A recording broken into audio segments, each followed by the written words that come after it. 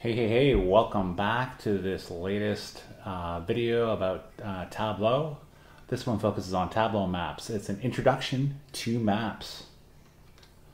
Uh, I'm going to go over four big things. First is an overview of what maps is in Tableau, then the three major types of maps within this software. Number one, symbol maps. Number two, filled maps. And number three, density maps. So um, this is a quick overview of maps.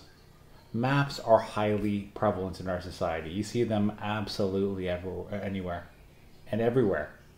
Whether you're going in down down into a subway, whether you're watching a weather forecast on TV or on the web, whether you're a tourist and want to go through uh, through a new a new city or town, whether you're on Google Maps, they're everywhere.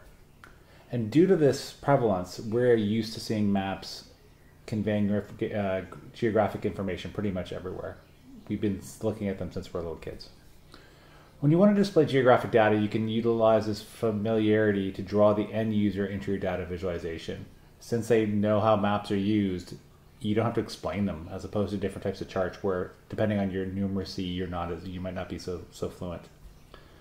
Maps also help you see regional patterns that might be difficult to spot in a, in a table again, depending on how well you use these maps, you can show, show how certain um, phenomena are highlighted in various regions of the maps that you use. Now I'm going to go over quickly the three different types of maps that are the most prevalent in uh, Tableau, symbol maps, filled maps, and density maps. Uh, symbol maps. In symbol maps, specific geographic locations are marked with these various symbols.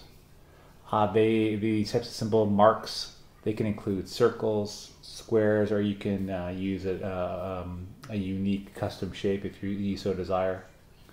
You can um, change these things in various ways. For example, you can change the form of them, the size of them, the color of them, of these various symbols and marks, and they can vary according to the measure or dimension that you're using within your map. Number two, filled maps. They're also called choropleth maps. Uh, geographic areas are shaded to, according to a measure or dimension. So depending on what that is, you you, you can fill different areas of a map with more and less intense, more and less vibrant colors to help uh, uh, show the the the, the intensity of a specific thing. Um, and then sort of similar to that, I'm going to talk quickly about density maps, the third type. They're also called heat maps. Areas of relatively or of relative concentration are colored intensely. Areas with sparse occurrences of the dimension in question are, are colored lightly, so you have a ver- uh, variety. Again, more intense is concentrated, less intense is uh, sparsely uh, concentrated. Density maps are a really good alternative to symbol maps, especially when you have high concentration of marks, making it possible to gauge the spatial distribution of individual marks. So again, it's just a different way to convey your data in a way that might be more intuitive to the user. So again, I just went over really briefly the overview of maps, symbol maps, filled maps, and density maps.